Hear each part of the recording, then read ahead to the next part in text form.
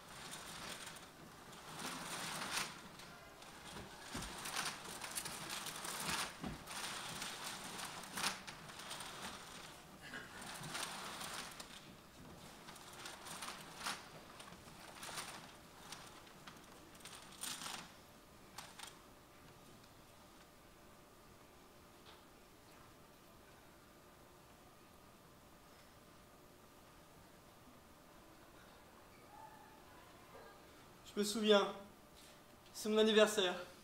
J'ai 7 ans. Et aujourd'hui, ça fait deux ans que mon parrain est parti pour s'enrôler dans l'armée. C'était ma personne préférée. Depuis, je le vois plus.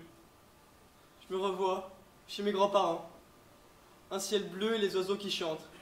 Et là, mon parrain qui est en station à quelques kilomètres de marche vient me voir pour célébrer cet événement. J'ai eu le sourire aux dès que je l'ai vu. C'était un soulagement de le voir en vie. Lui, et son odeur de tabac froid. J'ai passé un moment inoubliable. Quand je l'ai vu partir, ça m'a rendu triste. Alors, je me suis promis que jamais, jamais j'irai m'envoyer dans l'armée. J'ai été surpris quand on m'a obligé. Moi. Il me manque. Je repense à Élise que, que j'ai que j'ai laissée à la maison. La dernière fois que je l'ai vue, elle me saluait depuis le quai de la gare. J'ai laissé ma femme toute seule et, je m'en veux tant. Avant de la quitter, je l'ai embrassée et je lui ai promis qu'on se reverrait bientôt. À ce qu'elle me manque.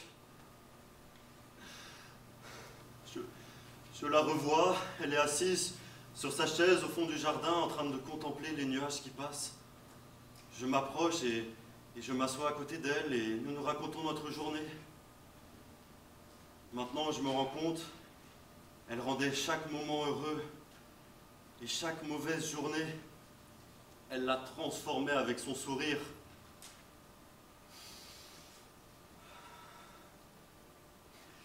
Avant de déserter, je lui ai envoyé une lettre. Une lettre où j'ai signé à très bientôt. Je ne sais même pas si elle l'a reçue. Je ne sais même pas quand elle va la recevoir. J'espère qu'elle qu'elle m'attendra pas trop longtemps. J'espère qu'elle sera pas trop triste de jamais me voir arriver. Si j'avais su que c'était la dernière lettre que je lui écrivais, si j'avais su que c'était les derniers mots qu'elle recevrait de moi, j'aurais écrit tant de choses. J'aurais signé Adieu ma chère femme, tu vas me manquer. Prends soin de toi et, ne t'inquiète pas pour moi. On se- on se reverra bientôt. Je t'aime.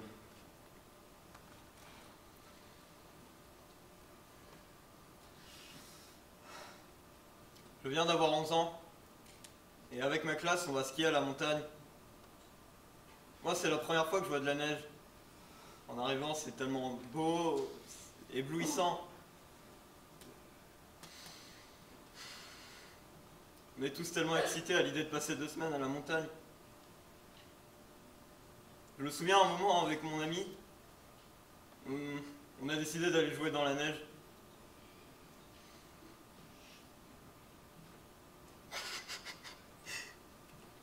Putain, Fred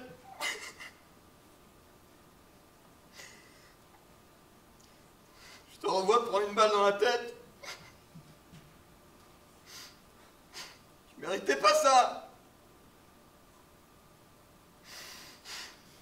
T'étais quelqu'un d'extraordinaire.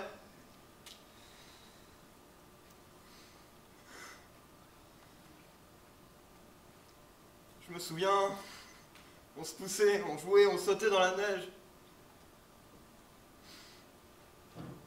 Pourquoi c'est toujours les meilleurs qui partent en premier?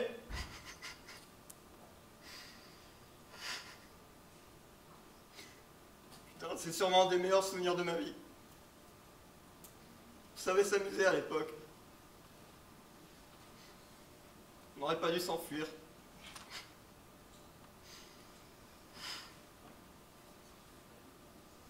Je suis sur mon vélo.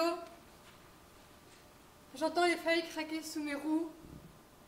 Et partout, une odeur de terre mouillée remplit l'air. Et quand je lève les yeux, je vois mon père qui me sourit. C'est lui qui m'a donné ce vélo. C'est aussi lui qui m'a appris à l'utiliser. Quand je suis sur mon vélo, c'est comme si je m'envolais. Même que des fois, je m'imagine en secret que je suis un oiseau. Je me souviens que depuis que je suis toute petite, mon père m'a toujours dit Un jour tu vas faire de grandes choses. De grandes choses. On n'aurait peut-être pas dû partir. Peut-être qu'on est que des lâches. Mais non, on l'a pas demandé cette guerre. On voulait juste être libre.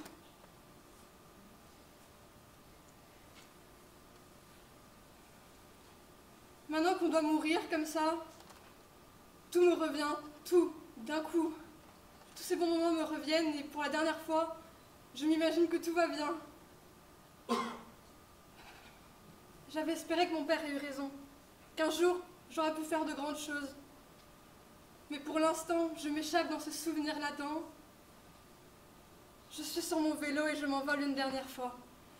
Et je peux devenir tout ce que je m'étais imaginé être, l'oiseau en liberté de mes rêves d'enfance les plus fous.